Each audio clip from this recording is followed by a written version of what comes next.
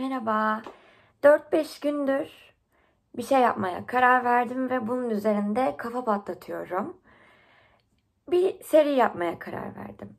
Yani Rönesans'ı aslında ilk temsilcisi olarak sayabileceğimiz Giotto'dan başlatıp bu dönemde son eserlerini veren sanatçıya kadar bu sanatçıların hayat hikayelerinde ufak ufak içine katarak, kişiliklerini göz önüne bulundurarak ama en çok da sanat eserlerini yorumlama bazında gideceğimiz bir seriye başlamaya karar verdim. Umarım keyif alırsınız. Umarım size bir şeyler katabilirim. Ee, direkt başlayayım o zaman çünkü çok fazla uzun tutmak istemiyorum. Ya her bölüme bir sanatçı gelecek şekilde yaparız. Ee, ya da bilmiyorum çünkü bazı e, Michelangelo gibi sanatçılar bildiğiniz gibi daha uzun olacaktır. Bu yüzden de 2 ya da 3 parçaya hani böyle 40 dakikalık bir video olmaması adına bunu bölebilirim. O zaten ona gelene kadar daha çok sanatçımız var. Umarım bu işin içinden kalkabilirim ama çok keyifli olacağını kendim için düşünüyorum. Dediğim gibi umarım siz de keyif alırsınız ve umarım beğenirsiniz. O zaman e, Rönesans'ın ilk temsilcisi sayabileceğimiz tam bir Rönesans adamı olmasa da diyelim şimdilik Giotto'dan başlayalım. Giotto için Vasari'nin söylediği çok güzel bir söz var. E, Vasari biliyorsunuz ilk sanat tarihçi olarak kabul ettiğimiz çoğu Rönesans sanatçısının Michelangelo'nun gibi özellikle e, çağdaşı olan bir sanatçı. Aynı zamanda o da bir sanatçı. E, Giotto için der ki insanın ayağını yere bastıran usta. Bu cidden çok can alıcı bir nokta Giotto'nun sanatı için. Neden? E, ilk videoda da biraz değindiğim gibi hatırlarsınız. Orta çağ sanatı e, boyutsuz, e, hiçbir şekilde bir duyu olmayan ve sadece tek kaygısı aslında din olan yani tek kaygısının okuma yazma bilmeyen halka o ayeti, o kutsal metni resimlerle anlatma. Anlatmaydı yani orta resminin kaygısı. Fakat Rönesans'ta tabii ki de bu değişti ve aslında biz bu geçiş döneminde tam olarak kusursuz bir şekilde Giotto'yu oturtabiliriz. Peki Giotto'nun macerası nasıl başladı biraz buna bakalım. Yine bunları zaten çoğunu bize Vasari aktarır. Diğer hemen hemen tüm e, sanatçılarda değineceğimiz en e, önemli kaynak olarak hatta e, şu an yanında değil e, alta yazarım. Sanatçıların hayat hikayeleri olarak çevrilmiştir. Çok da güzel bir çevirisi vardır. Kesinlikle öneririm. Yüzde yüz tamamen bel bağlanacak bir eser mi? Şu açıdan değil. E, tabii ki de önemli kaynak, çok önemli bir kaynak. O dönemi bize o dönemde yaşayan biri olarak anlatması çok değerli. Ama e, biraz mübalağa eden bir sanatçı. Yani cidden e, Michelangelo hakkında olsun, Leonardo da Vinci hakkında olsun onları övmek adına aslında birazcık böyle bir kurgu içine yedirmiş abartılı e, tamlamalar ve betimlemeler kullanır e, kitabında. O zaman Vasar'dan bahsettikten sonra asıl konumuz Giotto'ya geri dönelim. E, nasıl başladı demiştik bu macerası yine Vasari'nin aktardığına göre. E, Cimabue diye bir sanatçımız var. Giotto'nun hocasıdır bu. E, Cimabue Rönesans sanatçısı sayılmamakla beraber Giotto kadar olmasa da Orta Çağ'dan öte aslında Bizans üsluplu bir e, betimi vardır e, Cimabue'nin. Bizans'tan artık bir tık kopuşunu gerçekleştiren ve Giotto'nun da hocası olmasıyla bilinen bir usta. 10 e, yaşında e, Giotto'nun mesleği yani Giotto'nun yaptığı iş koyunları otlatmak. Ve e, kaya parçalarını keskinleştirerek yani dağ parçalarını özür dilerim keskinleştirerek e, kayaların üzerine doğa betimleri yaparmış. Koyun çizermiş, ağaçları çizermiş, e, diğer hayvanları çizermiş. Cimabue'de e, Floransa'ya giderken sanırım yanlış hatırlamıyorsam ya da dönerken de olabilir. E, Otlak da buna rastlıyor Giotto'ya ve e, 10 yaşındaki çocuğun Giotto'nun elinde işte sivriltilmiş aletiyle beraber bir kaya parçasına muazzam bir koyun çizdiğini görüyor. Bunun üzerine e, onu atölyesine davet ediyor ve Giotto da eğer babamın izni olursa seve seve gelirim diyerek babasının da sonradan izin vermesiyle ustanın atölyesinde e, sanatını icra etmeye diyeyim başlıyor. Şimdi böyle tatlı bir hikaye var. Bir de yine çok sevdiğim atölyeye gittiğinde artık biraz daha yaşı ilerlemiş.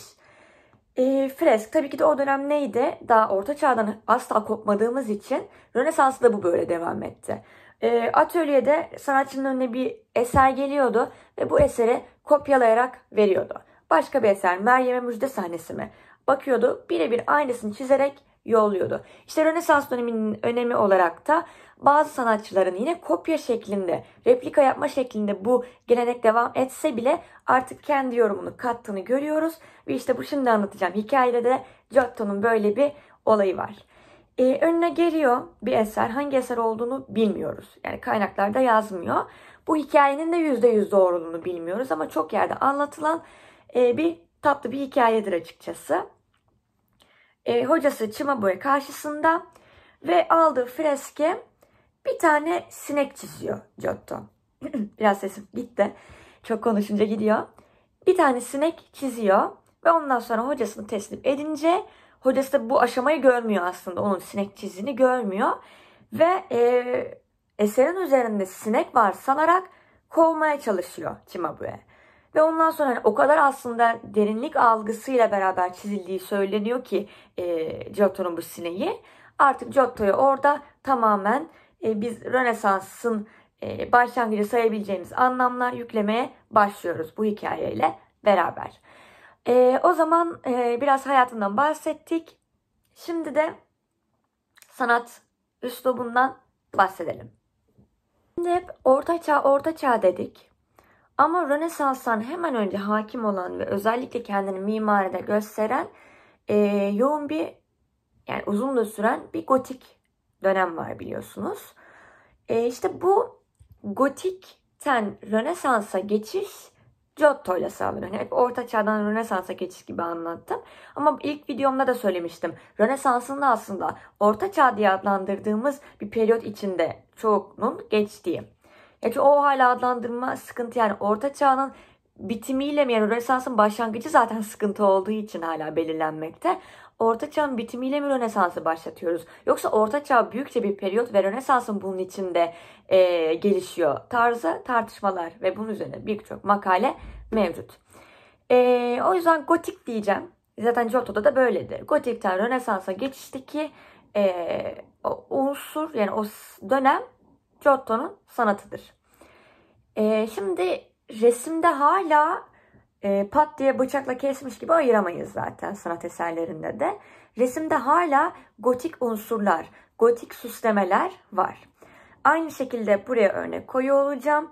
E, Giotto'nun da bir heykelden farksız şekilde bize hacmiyle görünen ama tamamen gotik bir heykel olan resim yani fresk çalışmaları da var. E, şimdi e, heykeller zaten bu dönemde artık Giotto'nun bu örneğiyle beraber resme girmeye başlıyor. Hala kendini e, bir gotik mimarinin parçası olan hani bir yapıya gömülü e, heykelden öteye gidemiyor şu anlık. Çünkü biliyorsunuz Rönesans heykeli daha sonra da onun hakkında da video çekeceğim.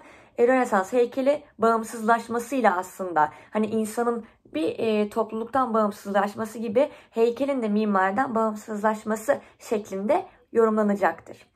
E, şimdi heykel tarzı resimler çiziyor dedik Giotto için. E, ve manzara girişimleri artık başlıyor. Ama bu tabii ki de böyle hmm, başarılı, e, perspektifin içinde olduğu, muazzam bir derinlik algısının olduğu manzara çalışmaları asla değil.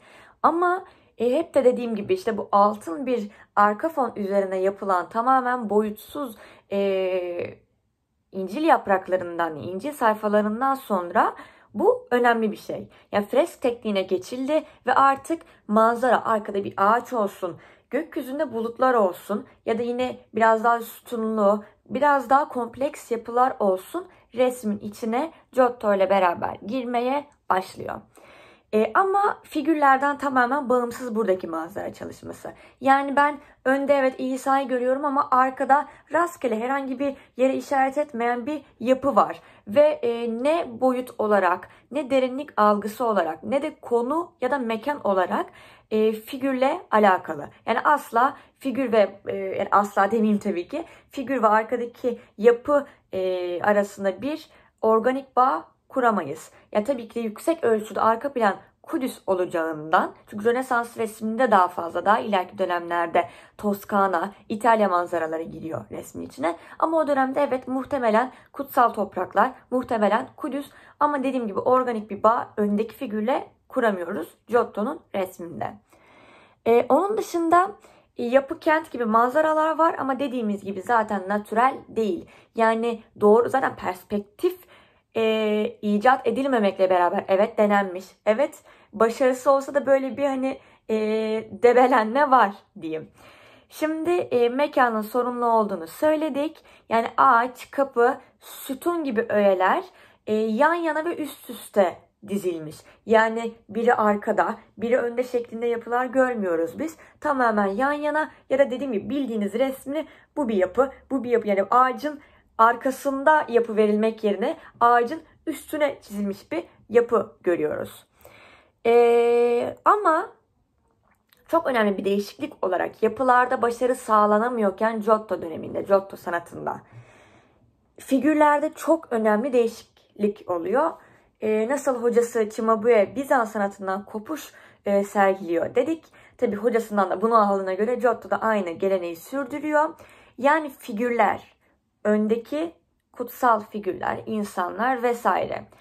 Bizans ikonaları gibi yan yana hani bir İsa ya da bir havarisi yan yana görmek yerine biz artık bunları bir paralel algı, yani paralellik algısı içinde görmeye başlıyoruz. Yani figürlerde manzaraya kıyasla bir tık daha o boyut, o hacim duygusu verilmiş bize. Giotto'nun resminde Giotto bize vermiş figürlerin farklı yerlere bakması, farklı yönlere doğru farklı hareketler yapması gibi özellikler ve bu hareketi sağlanmaya çalışma e, girişimlerini Giotto'da görüyor olacağız. Ve hemen hemen çağdaşı sayılan Giotto'nun e, Dante'yi biliyoruz.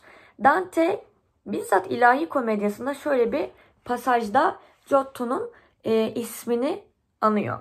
Şöyle okuyayım size. İnsan gücünün boş zaferleri. Resimde Cimabue yerini korumayı düşündü ve şimdi Giotto'nun haykırışı var ki diğerinin ününü azaltmakta. Yani burada aslında Dante birkaç pasajda daha bahseder. Bu arada kitap bu. Rönesans Düşüncesi ve Resim Sınıf Sanatı Nilüfer Önder'in muazzam bir kitap. Mutlaka alın bunu. Yani ilgisi olan varsa. İşte burada Dante daha pek çok pasajda e, Giotto'dan bahsetmekle beraber Giotto'nun bir o dönemde bile bir geçiş, bir farklılık yani bir dönüm noktası olduğunu bize birazcık sezdirmiş ilahi komedyasında. Ee, başka anlatmayı unuttuğum bir özellik şu anlık yok gibi duruyor. O zaman birkaç tane e, eserini seçip eser üzerinden de bunları yeniden tekrarlayarak Giotto sanat, sanatını ve resmini inceleyelim.